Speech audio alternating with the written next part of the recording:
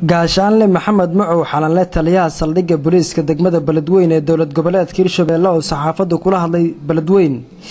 ayaa maro ka soo saaray dadka qashinka ku shubaya webiga shabeelle oo xilligaani dhadhankii biyaha webiga ay isbedeleen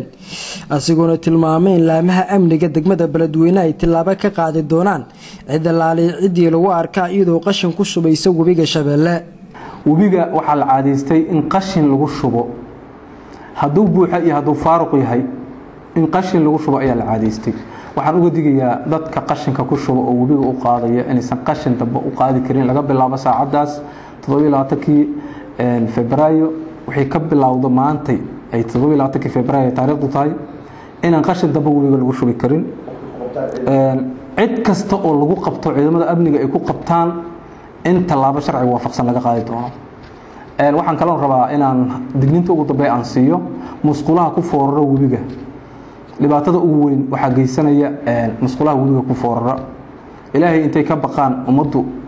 ha isgargaarto ha iscaawiso oo allahooda ha uga baqaano webiga musqulaha lagu istimcaalayo in saacaddaas waxay ka dambeyn aan u dulqaado doonin. Hadday ayagu ilaahay uga baqi waayeen inay boosaneer qotaan iyo istimcaalaan boosaneeradooda khaaska ah inaysan webiga ay ummadda ka dhexeeya aysan dhibaatay karinaynin fidno iyo cudur iyo dhib aysan saacaddaas waxay ka dambeey aan ugu dulqaado doonin. Hadda aanu istaagi doono haddii ilaahay yiraa inaan raadino musqulaha webiga ku foorara iyo meelaha qashinka looga shubiyo cidda ku shubaysa haddii ilaahay yiraa hadalka taliyaha saldhigga booliiska degmada beledweyn ee dowlad goboleedka hirshabeelle gaashaanle maxamed macow xalanle ayaa imaanaya xilli ay isbedeleen dhadhanka iyo midabka biyaha webiga shabeelle islamarkaana laga cabsi qaba inay cudurro ka dhashaan biyaha. Hase ahaatee waxaa muuqanaya dhanka kale nadaafad darro ka muuqanaysa webiga iyo hareerihiisa maadaama qashinka magaalada laga qaaday inta badan lagu shuba webiga shabeelle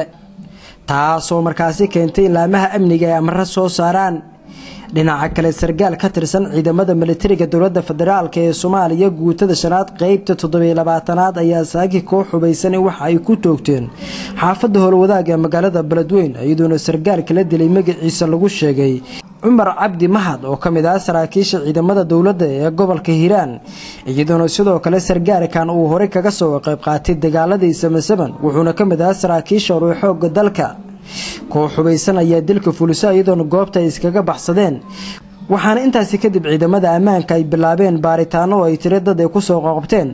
inkastoo ilaa iyo hadda aysan jirin wax faahfaahina oo laamaha amniga ay ka bixiyeen dilka sargaalkaasi iyo weliba sidoo kale tirada dadka loo soo qoqobtay inay ka mid yihiin dadkii filka dilkii ka dambeeyey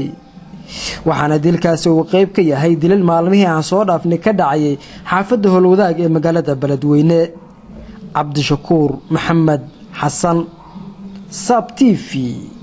beledweyne